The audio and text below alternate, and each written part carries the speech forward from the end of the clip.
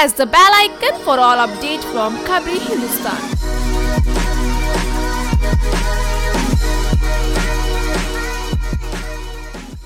BCCI ने team India के खिलाड़ियों की नई कॉन्ट्रैक्ट लिस्ट जारी की। इसमें मोहम्मद शमी का नाम नहीं है।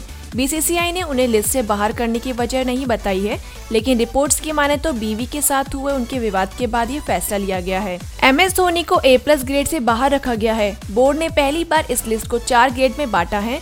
बीसीसीआई ने इस बार कॉन्ट्रैक्ट लिस्ट को चार ग्रेड में बांटा है। पहले प्लेयर्स को उनके परफॉर्मेंस को देखते हुए तीन ग्रेड में रखा जाता था। ए प्लस ग्रेड सालाना सात करोड़ ए ग्रेड सालाना पाँच करोड़ बी ग्रेड सालाना तीन करोड़ सी ग्रेड सालाना एक करोड़। चलिए आपको इन सभी ग्रेड्स में शामिल क्रिकेटर्स के बारे में बताते हैं। ए प्लस ग्रेड में शामिल हैं विराट कोहली, रोहित शर्मा, शिखर धवन, भुवनेश्वर कुमार और जसप्रीत बुमराह। ए ग्रेड में M S Dhoni R Ashwin, Murali Vijay, Cheteshwar Pujara Ajinkya Rahane और रिद्धिमान साहा।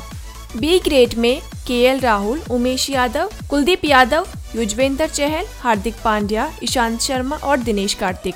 सी ग्रेड में शामिल है केदार जाधव, मनीष पांडे अक्षर पटेल, करुण नायर, सुरेश रैना, पार्थिव पटेल और जयंत यादव।